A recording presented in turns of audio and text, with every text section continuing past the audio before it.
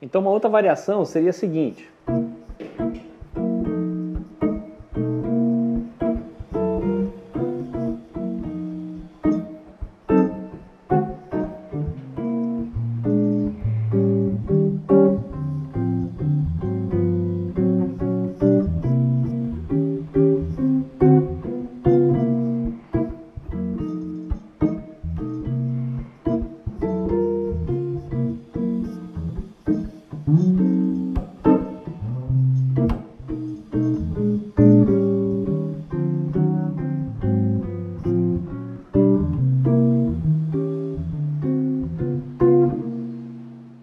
Dentro disso você pode fazer várias substituições de acordes possíveis. Né?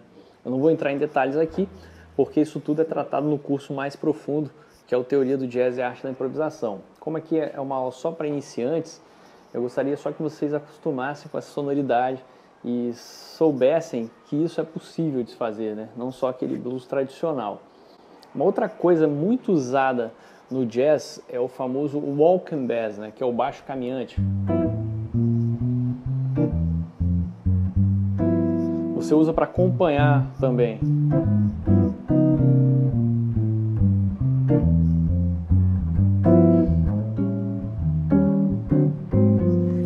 Não é? Fazendo um acorde e o baixo caminhando. Né? Isso também é muito usado na hora da improvisação, ou até mesmo no acompanhamento que você estiver fazendo.